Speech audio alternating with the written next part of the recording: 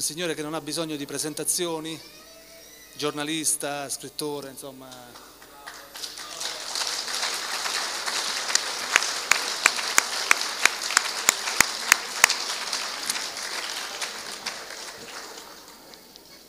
...24 marzo, una data molto importante nella storia di un popolo e ora Ettore ce ne parlerà molto più diffusamente. Ma innanzitutto io devo difendermi dall'ombra di un sospetto che inquina questa mia presenza a Rimini ed è il fatto che vedo nelle donne, non tanto negli uomini, ma nelle donne che sono qui, una muta accusa che mi dice dov'è la tua Clotilde?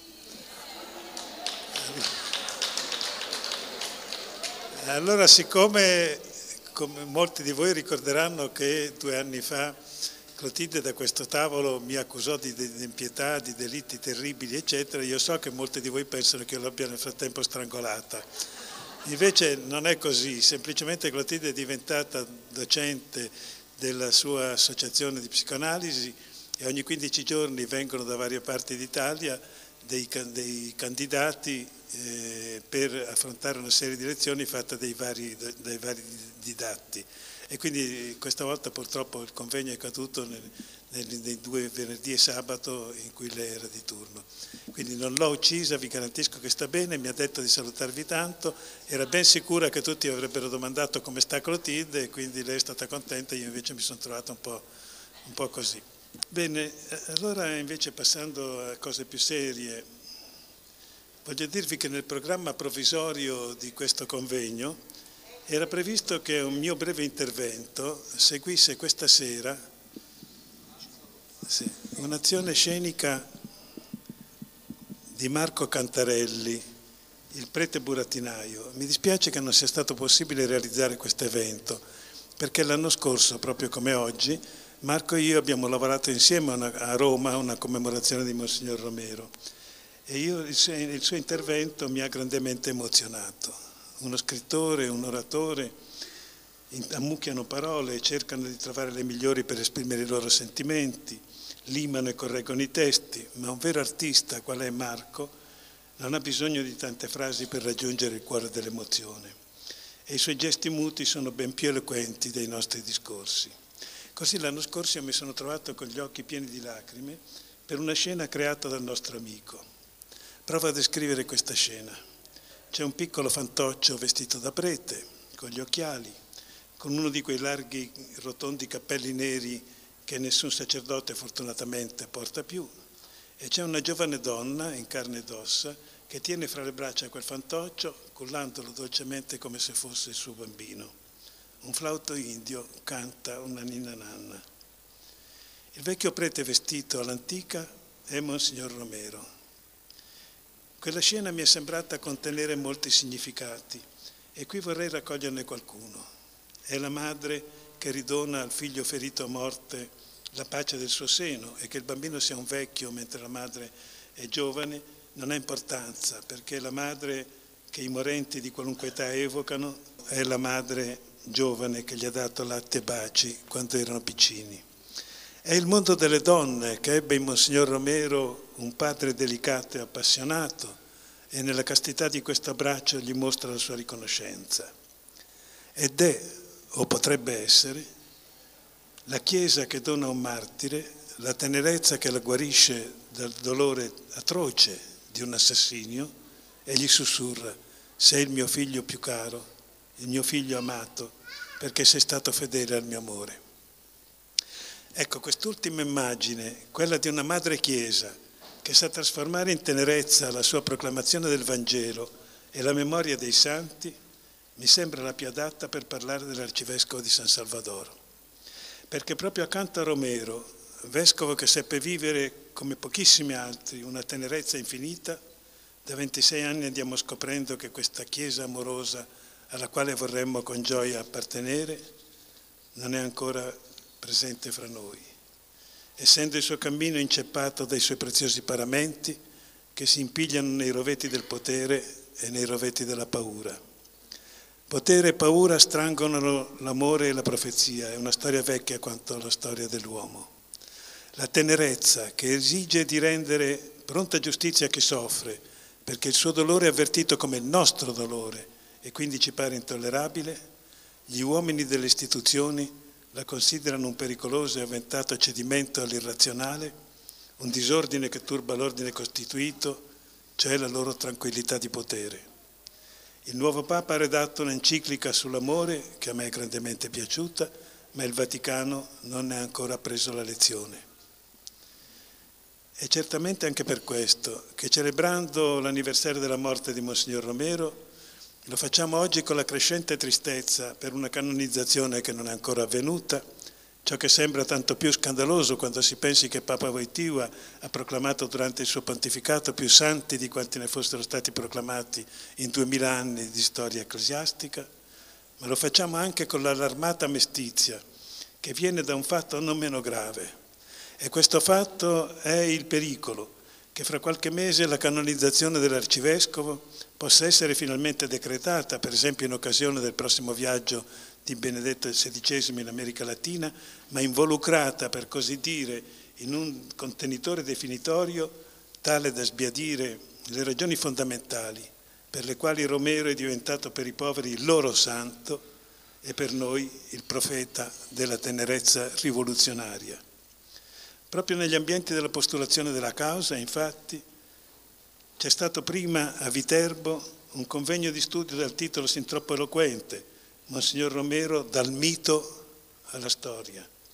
E poi è stata pubblicata una biografia che forse per fare avanzare la causa canonica finisce per normalizzare la figura del martire, non inserendola profondamente, vitalmente nella storia di un popolo, di un continente e anche, come vedremo, di un sistema planetario omicida, e trattandone invece la morte come un evento criminale che ha colpito un vescovo zelante sì e scomodamente rigoroso, ma, non, dopo tutto non diverso da tanti altri. È un'operazione, come io sono pronto a riconoscere, tentata probabilmente per facilitare delle decisioni positive, positive da parte del Vaticano, rimuovendo l'opposizione di chi considera Romero un vescovo rosso o un vescovo, come disse Wojtyła, esagerato, nella sua azione episcopale. Dunque si potrebbe dire un'operazione tentata a fin di bene.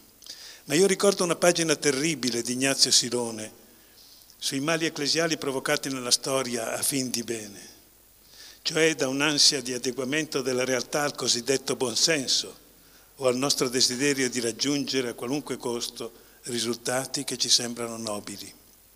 A fin di bene, ricordava lo scrittore abruzzese, sono state create innumerevoli vittime e distorsioni storiche e il Vangelo è stato corrotto e estenuato. Maria Lopez Vigil, amica e appassionata biografa del martire, leggete il libro che ha in vendita qui, Mille pezzi per un ritratto, in un recente convegno milanese ha detto, molto giustamente a mio avviso, che Romero non può essere ricordato, cito, virgolette, analizzando accademicamente i suoi archivi o teologicamente le sue omelie, piuttosto che rintracciarlo nella voce della sua gente.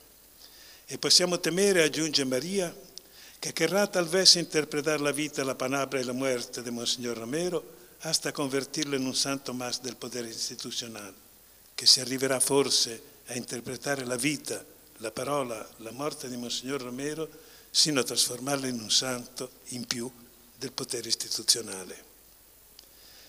Penso anch'io come Maria, che è venuta a trovarmi a Roma mentre gli organizzatori dei convegni di Viterbo e di Milano si sono ben guardati dall'invitarmi ai loro lavori, quasi che la mia non fosse e non rimanga, posso dirlo con serena certezza, la più accurata biografia di Monsignore.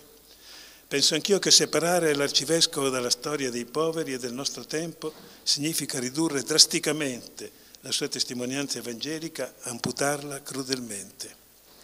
Perché certamente è vero che le carte degli archivi parlano di un vescovo fedelissimo al Papa, cattolicissimo, devotissimo non soltanto a Gesù, a Gesù, ma anche a Maria di Nazareth, insomma del tutto omogeneo a tanta parte de, della meno allarmante gerarchia cattolica, ma è anche vero che la tenerezza per i poveri spinse Romero in quella regione di confine in cui la Chiesa o accetta di evangelizzare il popolo di Dio ponendo il suo tempio a cielo aperto sulle falde del Golgota, o tradisce la sua missione.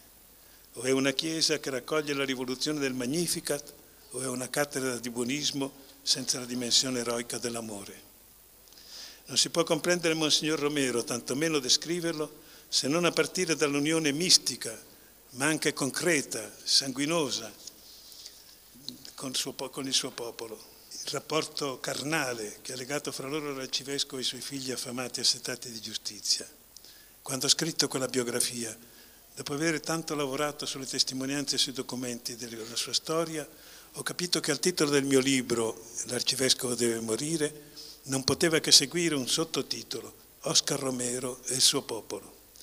Una canonizzazione di Romero che non si situasse nella storia dei poveri in cerca di liberazione, ne tradirebbe la preziosità del martirio, vanificherebbe la certificazione della sua dignità, della sua santità.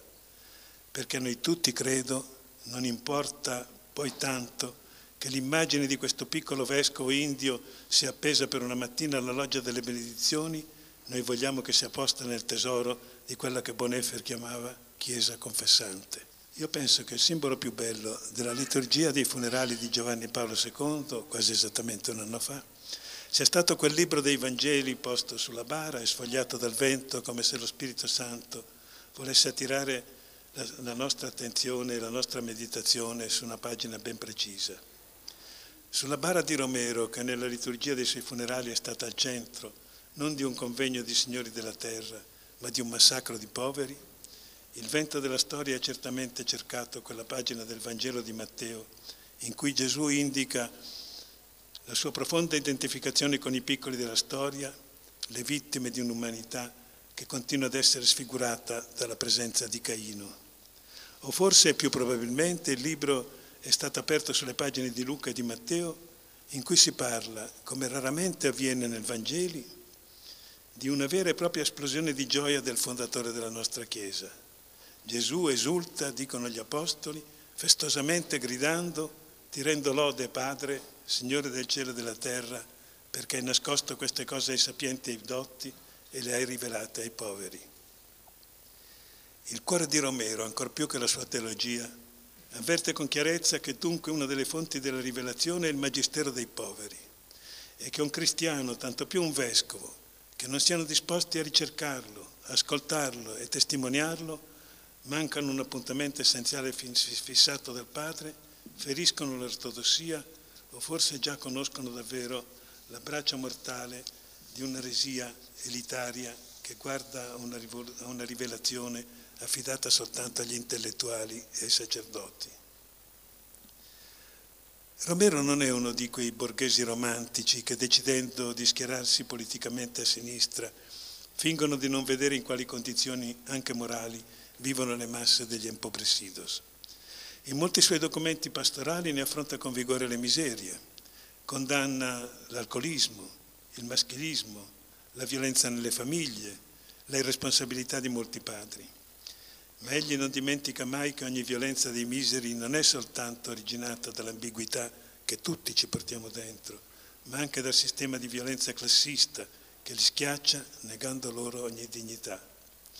E Monsignore è poi attentissimo ai loro dolori, ai tesori di, Vangeli, di Vangelo che molti di loro sanno vivere, la fede semplice, la solidarietà e persino il genio creativo di una produzione culturale che consente loro sia di comporre liturgie mirabili, sia di, poter, di saper esprimere una evangelizzazione adatta a un popolo di analfabeti. I catechisti di Monsignor sono cantori e poeti e non è, che non è possibile distaccare dalla storia dell'ispirazione biblica e da quel quinto Evangelo che secondo l'Apostolo Giovanni deve ancora essere scritto.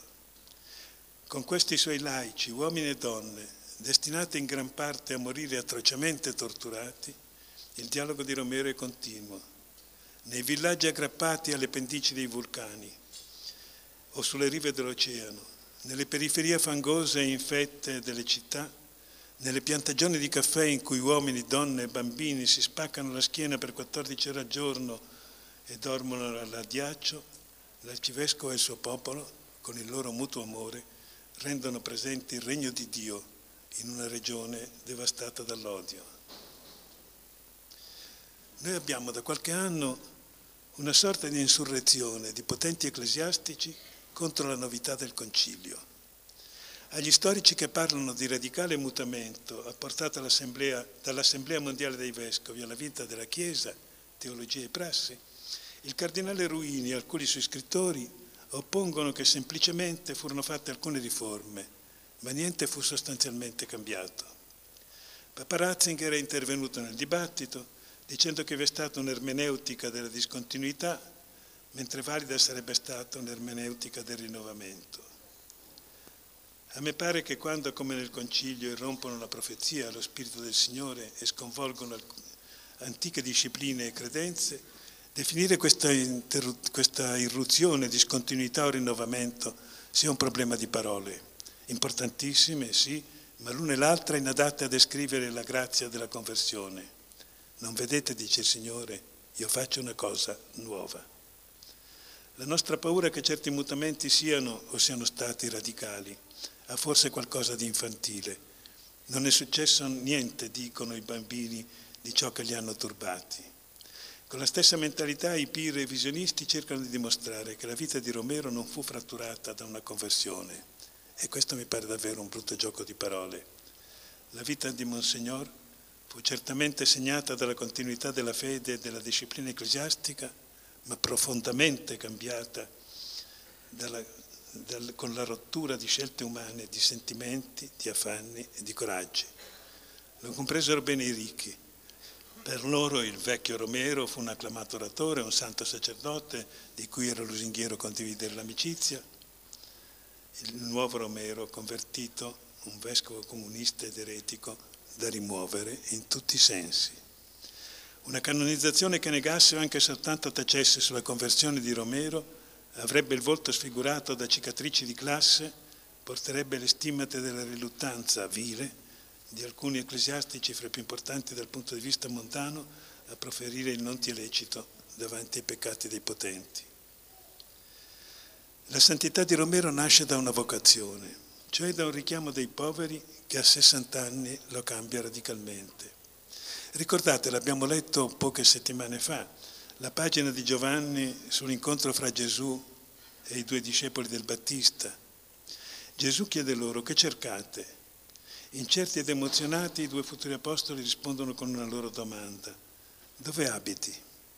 Risponde il Cristo, venite e vedrete. Ed essi, dice il Vangelo, andarono dove Gesù abitava quel giorno e si fermarono presso di lui. Mi tenta una parafrasi. Quando la barbaria dei feudatari dell'impero costringe Monsignor, appena diventato arcivescovo, accanto al cadavere di padre Rutilio Grande e di tre suoi parrocchiani assassinati dalla violenza degli agrari, quasi stupefatto nel vedere una richiesta di paternità dai campesinos che si accalcano intorno ai corpi straziati, egli sembra credere, da dove venite, dove abitate? Ed essi rispondere, vieni e vedi. E questa pagina di stampo evangelico può concludersi in questo modo. Ed egli andò e rimase con loro. Da quella sera, infatti, Romero, che aveva sempre aperto la sua causa ai mendicanti e trasformato gli uffici della diocesi di Santiago de Maria in rifugi notturni per i coloni delle piantagioni di caffè, cominciò ad entrare lui negli abituri dei poveri. Le capanne addossate alle rocce fredde ed umide quelle in cui una tettoia di Eternit è segno di distinzione, le vere e proprie tanne di fango e di frasche per bambini segnati alla fame e le case di quel giorno, cioè i precari accampamenti dei profughi di una crudelissima guerra civile, le povere stanze scheggiate dalle pallottole o devastate dal napalm delle truppe speciali. E imparò a conoscere il pianto degli orfani che avevano visto uccidere i genitori, delle donne violentate, i gemiti dei torturati, il rantolo dei morenti. E là, sul versante negativo della storia, incontrò un'umanità e un Vangelo da cui la sua cultura di prete reazionario l'aveva sino a quel momento tenuto lontano. Conobbe il dolore e l'inesausta speranza di liberazione dei suoi figli, la loro paura eroica e tutte queste esperienze le fece proprie. Nei tre anni tormentosi dalla sua testimonianza, Romero amò come figli anche alcuni suoi preti e suore che avevano scelto intrepidamente di essere poveri fra i poveri assaliti dalla violenza e perciò condannati a morte. e anche da loro come da alcune persone che rischiavano la morte per difendere i diritti umani, penso a Marianella Garcia Villas che lo seguì nel martirio, accettò umilmente di essere evangelizzato. L'arcivescovo che non piegava il capo davanti ai governanti e che osava scrivere con forza per la salvezza dei suoi figli ai capi dell'impero e ordinare ai soldati di disobbedire agli ordini omicidi, fece del suo episcopato la matrice di una nuova pastorale segnata dalle esigenze dei poveri. Nel suo sguardo si arrestò ai confini del Salvador, al popolo del Pulgarsito, il pollicino d'America, come è stato amorevolmente soprannominato per la sua piccolezza El Salvador. Romero gioì per la vittoria del poverissimo popolo nicaraguense sulla spietata dittatura di Somoza e pianse accanto al lutto senza pace, me lo ricordava l'altro giorno eh, Lita Boitano, accanto al lutto senza pace delle madri della piazza di Maggio, essendo egli con Elder Camera l'unico vescovo sudamericano che le accolse con cuore di padre e di fratello. I poveri dunque, conosciuti con amore, considerati come gente importante uno ad uno. Mi ha sempre incantato che nella liturgia dei santi innocenti la Chiesa parli dei bambini massacrati di Erode, dicendo che, virgolette, non a parole ma con la morte hanno testimoniato il Cristo. Così è degli umili maestri di Romero. Ma allora quando noi facciamo memoria di Monsignor, a me sembra che egli non se indichi, ma loro. Anche se può essere uno stimolo alla nostra conversione, il nostro santo senza aureola non è una radice, è un frutto. Il frutto di una fede vissuta in prossimità della croce e anche ciò che Romero andò progressivamente scoprendo, in prossimità del, di fedi laiche nella grandezza della dignità umana. La via di salvezza che Romero ci propone e propone alla Chiesa è di rovesciare, convertire la nostra cultura, anche quella teologica. Le nostre valutazioni della civiltà in cui viviamo devono essere misurate non in base alle conquiste scientifico-tecnologiche, ma in base alle condizioni dei poveri e alla nostra volontà e capacità di schiodarli dalle loro croci, espressione che con il dovuto rispetto per i revisionisti ecclesiali è lettera del Concilio. La Chiesa, dice la Costituzione dogmatica Lumen Gentium, riconosce nei poveri e nei sofferenti l'immagine del suo Salvatore. Allora, prima di passare alla seconda e più breve parte del mio dire, lasciatemi a questo punto dirvi quanto io sia felice di vedere che voi siete fedeli a questo messaggio. Anche se sono costretto ad ammettere che la vecchiaia comincia a pesarmi addosso, cerco di essere un uomo che vive la speranza. Fra gli elementi che rallegrano e rinsaldano questo testardo sentimento che ravviva ogni mattina, la, re, la lettera di Eresh, il suo costante dibattito interno, la sua apertura a nuovi orizzonti, la sua solidarietà con il mondo dei poveri, l'attenzione ai suoi insegnamenti sono per me motivo di grande gioia. Grazie.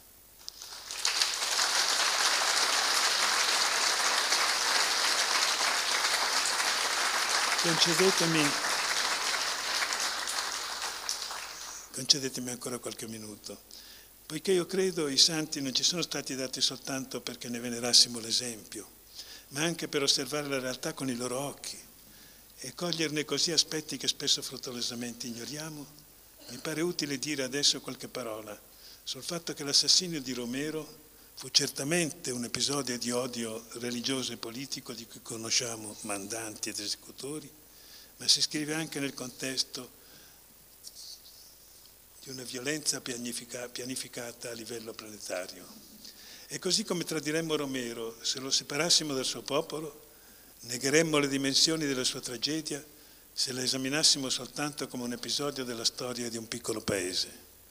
Monsignor, accusato prima e dopo il suo martirio di essere uno sciocco, di non capire la politica, vide invece chiaramente che lo strumento che stava alla base della violenza istituzionale era la legge della sicurezza nazionale, un fenomeno che a me pare di strettissima attualità. La nostra attenzione richiamata quest'anno dovrebbe esserlo da molte ricorrenze e molti eventi che ci interpellano. Ne cito alcuni a casaccio il centenario della nascita di Dietrich Bonhoeffer, il cinquantennio della morte in combattimento di padre Camillo Torres, il 45 anniversario dell'assassinio di Lumumba, il trentennale del golpe argentino con l'instaurazione di una dittatura genocida. La diversità fra le situazioni di questo passato e la situazione attuale, con i mutamenti intercorsi in qualche decina d'anni, è tanto radicale da sconvolgere chi la contempla. Soprattutto quanto è avvenuto e sta avvenendo nell'America Latina, è lì a dimostrare che sino a che ci sarà un popolo che si vede negare dignità e pane, la storia continuerà nell'insurrezione degli uomini e delle donne di buona volontà. Tuttavia a questi eventi di liberazione non si è accompagnato, e ne soffriamo ogni giorno, un generale mutamento planetario. Situazioni terribili ormai antiche insanguinano ancora la terra in tutti i suoi continenti, prima fra tutte la questione palestinese, martirio di un popolo e vergogna di tutti gli stati e i popoli democratici. La logica della forza imperiale, cioè la logica della forza di Caino, battuta in alcune regioni del nostro paese, del nostro pianeta, tiene ancora saldamente vaste aree e cerca incessantemente di impossessarsi di altre. Monsignor Romero è una vittima di questo imperialismo. In Brasile, in Uruguay, in Cile, in Guatemala, in Argentina, quando le dittature militari imposte o sostenute dalla Casa Bianca furono costrette ad andarsene, i governi, o più spesso la Chiesa, installarono commissioni di indagine che raccogliessero le verità atroci del terrorismo di Stato. Furono così pubblicati dei dossier di centinaia e centinaia di pagine e ovunque questi rapporti furono intitolati Nunca Mas, che vuol dire mai più. Nunca Mas voleva dire più specificatamente mai più tante sofferenze fisiche e morali, mai più tanto crudele negazione dei diritti umani, mai più tanta perversione dello Stato, mai più tante persone trasformate in carnefici, mai più tante persone massacrate perché affamate e assetate di giustizia e di libertà per tutti, mai più vescovi silenziosi davanti alla ferocia dei generali, o vescovi uccisi per aver elevato la voce del Vangelo come Monsignor Romero o gli argentini Monsignor Angelelli e Monsignor Ponce de León o il guatemalteco Monsignor Gerardi Conedera, mai più donne stuprate nelle camere di tortura, mai più bambini seviziati nel ventre delle madri, mai più bambini strappati ai genitori, desaparecidos gli uni e gli altri, mai più, mai più, mai più davvero. Gli orrori che i dossier della repressione dell'America Latina documentano non parlano soltanto della possibilità che ciascuno di noi si porta dentro, di agire il bene o il male in maniera totalizzante, ne parlano soltanto della brutalità provocata dall'ignoranza o dalla miseria non parlano di episodi casuali e neppure di un'orrenda catena di eccessi. La verità è che ciò di cui parlano è ben più grave. Parlano di una ferocia progettata, programmata, pianificata, agita, sia pure in molte forme, da quelle più evidenti come nei grandi massacri salvadoregni e guatemaltechi, più silenziosamente in altre nazioni. La storia di questa pianificazione della repressione, con tribunali segreti e segrete condanne alla disoccupazione, alla paura, alla tortura, alla detenzione segreta, all'uccisione segreta, insomma alla frantumazione della persona umana e del contesto sociale, comincia alla fine degli anni 50 del secolo scorso, in America Latina, nella scuola superiore del Brasile, e il suo primo ideologo è un generale che si chiama Golberi da Cuta e Silva. Ha fama di raffinato intellettuale, porta un soprannome aristocratico, lo chiamano la Sorbona. Dall'alto della sua cultura giuridica guarda il mondo e si convince che ormai è in atto una guerra totale fra cultura cristiana occidentale affidata per sempre agli Stati Uniti e le forze del male assoluto. Per vincere questa guerra è necessario non, non combattere soltanto il nemico esterno, ma anche ogni sovversione interna, a ogni costo, in tutti i modi possibili. I suoi allievi perfezionano strategia e tattica, danno vita a un golem, un gigante senza coscienza, un mostro che ancora oggi si aggira sulla terra. E questo mostro, questa perversione giuridica, questa matrice di infamia per, per stati che osano definirsi democratici, ha vari nomi, ma uno li unifica, dottrina della sicurezza nazionale. Essa non nega come il fascismo e lo stalinismo i valori della democrazia o delle libertà naturali, individuali. Non ostenta come Hitler teschi i suoi berretti ai suoi soldati, non impone come Mussolini tessere di partito o giuramenti. Esibisce invece una, una constatazione. Se la democrazia vuole salvarsi dai suoi nemici, i terroristi, deve accettare qualche temporanea limitazione. Il patriottismo esige qualche temporaneo sacrificio del diritto della Costituzione. Se lo Stato è in pericolo, per il bene dello Stato è necessario eliminare quel pericolo e dunque accertarne con ogni impegno le forme e le eventualità e dunque storcere la verità che si rifiuta di collaborare e dunque usare la tortura per il bene di tutti. Per impedire che la sovversione di laghi è necessario purtroppo limitare provvisoriamente la libertà di stampa, violare la riservatezza delle comunicazioni interpersonali e impedire critiche al comportamento della polizia, sempre eroica per definizione. Lo Stato padre chiede ai suoi figli serena fiducia e riconoscenza. Lo Stato colonnello o le sue agenzie si incarica dei servizi sporchi necessari all'ordine pubblico. È necessario farla finita con le fisime dei magistrati. Lo Stato dittatoriale pro tempore si incarica dei rapporti internazionali, cioè della tutela del cordone ombelicale che lega vitalmente i governi locali a quello di Washington, sempiterna capitale di un impero planetario. Questa dottrina si è rapidamente diffusa in tutto il continente latinoamericano. Non da sola, c'è chi le ha dato le ali. Nella sua versione militarista il grande capitale offre denari, ricerche scientifiche, sofisticate tecnologie e il pratico monopolio dei mass media. Nel Salvador come nel resto del mondo per le guerre democratiche preventive sono state e vengono usate armi personali, ciascuna delle quali ha un costo tale da poter sollevare dalla miseria un intero villaggio. Le spese per le armi collettive redimerebbero aree di dimensione subcontinentale. Società segrete, massonerie come la P2 facilitano la globalizzazione di una rete di polizie repressive agli ordini della CIA. Per insegnare la dottrina della sicurezza nazionale e le sue pratiche attuazioni, il Pentagono ha istituito una vera e propria università della tortura la Escuela de las Americas. Ha avuto ed ha come allievi i peggiori arnesi del fascismo dell'America centrale e meridionale, tanto per dire il maggiore Roberto D'Aubuisson, mandante dell'assassinio di Romero. Vi si impara che ogni protesta contro il potere imperante significa sovversione e dunque terrorismo. E però non si maneggiano impunemente i virus, contagiarsi è facile. La dottrina della sicurezza nazionale infetta oggi la più grande democrazia del mondo, non solo con leggi che amputano crudelmente gli ideali di un tempo, ma anche con il vero e proprio boom della tortura.